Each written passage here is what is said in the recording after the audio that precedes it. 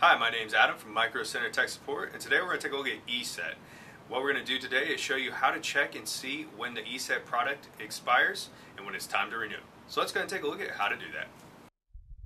Okay, to get started, what we need to do is click on the ESET icon in the lower right hand corner and select Open Window.